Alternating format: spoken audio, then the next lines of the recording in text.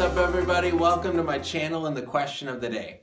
Now, every now and then I get a question that comes in, it's anonymous, and I don't fully understand, but I think I know what the person is saying, and so I answer it anyways, hoping that I get it right. Uh, that was the question today. So the question that came in, the actual question was, what is the limit of getting punished? Death?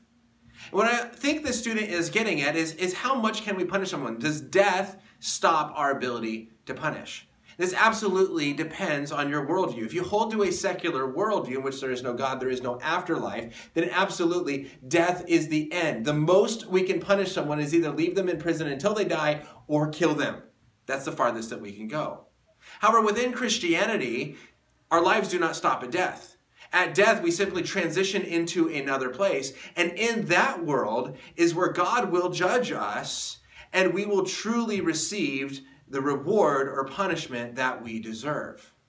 And I think this goes a lot along with an argument for the existence of God that people don't often use. It's an argument from desire that was created by C.S. Lewis. And here's kind of how he explained this argument is that we have natural desires inside of us that can be fulfilled by things within this world. So we have the desire for hunger that can be fulfilled through food. We have desire of thirst that can be fulfilled through drinking.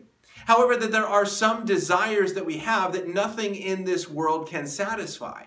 And that led Lewis to conclude that maybe it is because we were built and we were made for a different world. I think one of those desires is the desire for true justice. It's interesting that if you Google search the longest prison sentences ever given, your numbers come up, but the longest one was like 141,076 years, and others are like 42,000 years. Why would we sentence someone to 42,000 years in prison? They're never going to last that long.